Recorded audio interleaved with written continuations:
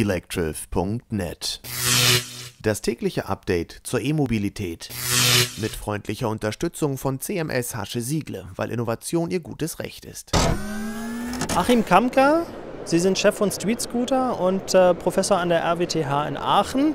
Wann liefert unser Postbote meine Briefe nur noch mit Ihrem Street Scooter? Ja, das ist schwer zu sagen, denn ich kann nicht für die Post sprechen. Wir wären technisch ungefähr in anderthalb Jahren soweit und dann wird die Post entscheiden, ob sie das denn nutzt oder nicht. Wie kommen Sie technisch gerade mit dem Projekt voran? Was haben Sie gerade so an aktuellen Baustellen in der Pipeline? Wir sind gerade mitten in der Industrialisierung, das heißt, wir haben ja die ersten Prototypen auf die Straße gebracht, also umgesetzt und jetzt geht es darum, die Prozesse glatt zu ziehen, zu hinterfragen, bestimmte Veränderungs- und Änderungsmanagementprozesse einzuziehen und das ist jetzt das Tagesgeschäft. Insgesamt lässt ja sozusagen der Markt noch ein bisschen auf sich warten. Ähm, Sie sind ja, Sie stecken sehr tief im Thema. Wann erwarten Sie denn persönlich den, den Wendepunkt für die Elektromobilität? Ja, ich glaube, dass der Markt schon da ist, nur noch nicht das richtige Produkt. Insofern, sobald Fahrzeuge da sind, die in, in Summe auch wirtschaftlich sinnvoll sind in der Nischenanwendung, darum geht es ja erstmal, äh, wird ganz schnell gekauft. Also ich glaube, das ist der, der Hemmschuh und damit geht es eben um eine Kosteninnovation und das Thema Kosten. Also wenn die Kosten stimmen, wird auch gekauft. Nun ist die Karosserie von dem Street Scooter, wenn ich das richtig in Erinnerung habe, relativ schwer. Passt das eigentlich zum Elektroauto? Geht es da nur um Kosten? Die Gesamtüberschrift hier ist wirtschaftlicher Leichtbau. Wir sind also sehr genau hingegangen in die Analyse, was rechnet sich, also kann ich Batterie einsparen für Leichtbau, was kostet das Kilogramm Leichtbau. Das war die eine Schiene. Zum anderen haben wir dann äh, den Mehrwert, also an Reichweitenverlängerung uns angeschaut. Und ich äh, hole dann ein paar Kilometer raus, zahle aber deutlich mehr Geld. Und gerade im Stadtverkehr, wo ich diese Reichweiten eben bis zu 100 Kilometer habe, ist es vollkommen irrelevant, irre, irre, irrelevant ob ich 100 oder 105 Kilometer dann Reichweite habe. Also insofern lohnt sich da nicht mehr ähm, Leichtbau zurzeit. Wie ist denn so das Feedback aus der Branche? Also ich könnte mir vorstellen, dass die OEMs sie durchaus argwöhnisch beobachten.